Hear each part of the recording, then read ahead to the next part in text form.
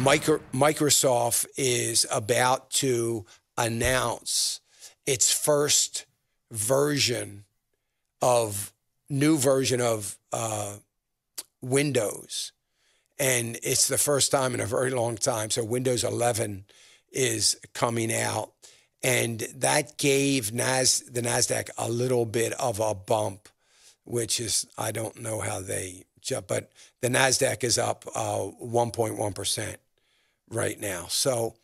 Um, we'll we'll see how things go, but I don't think we're we're this is a perfect market. You know, we're seeing small gains, small gains, small gains, gains, and that's the way it's been all week. I love crumbs. You know, I love just that constant kind of uh, no great swings one way or another. I know all of you that are invested, and you know, all of it, we all we want that big gain. Well, you know what?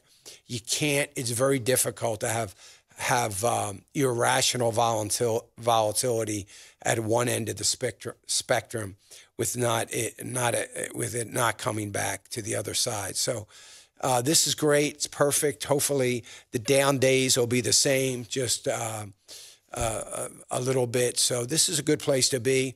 I think everybody is still very uh, concerned and frustrated about the uncertainty in and around inflation. That that so they think and so they say. I don't. I don't have any real uncertainty about inflation, but a lot of people do, and it's very concerning. You know, the the Federal Reserve seems to be uh, on again, off again. It's transitory. No, it's not. You, now you're getting dissension among the voting members of the Federal Reserve uh, which we have not seen almost the entire reign of Jerome Powell.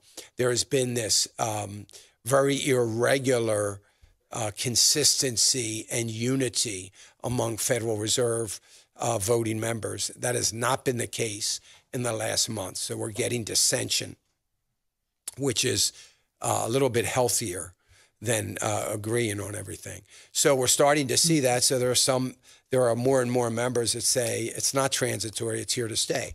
You know, um, it is far better to have a mentality that it's here to stay so the market starts getting some of that built in um, now because it's it's going to hurt the markets if they don't build some of it in. It's never going to hurt the markets if they build some of it in, and it doesn't happen.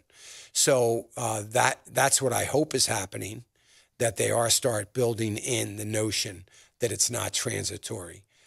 Hey, remember to click the subscribe button right here on the screen. And don't forget to hit the notification bell so you'll be notified when new content is added. And more importantly than anything, you don't want to miss all three live hours of financial issues every day from 9 to noon. And you can watch it on FISM.tv. That's FISM.tv.